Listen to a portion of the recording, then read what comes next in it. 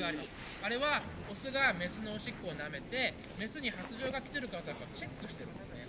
でメスのおしっこの中にもしメスの体の中で発情が起きればメスのおしっこの中に発情のホルモンが出てきます。でプラス僕らには全く関係ないフェロモンですね。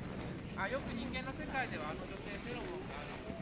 あの女性フェロモンがって言い方ですあれも例え話で僕らはあんまり知れない。これでも大きいねできるいいねちゃん。これ金ちゃん。ここ。あでかっで、次に調べてん。だ。あ、見比べてる。グリちゃん。母ちゃん。見てごらん。あ大きいほら書いてこれ来た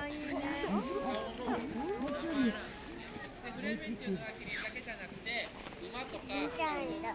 金ちゃん。いましたね大きいね。大きいね。金ちゃん。いだね。大きいね。よかったね。さっき話を戻しまして、い。見える。アップしたら。アップしたら見たってしか変わらない。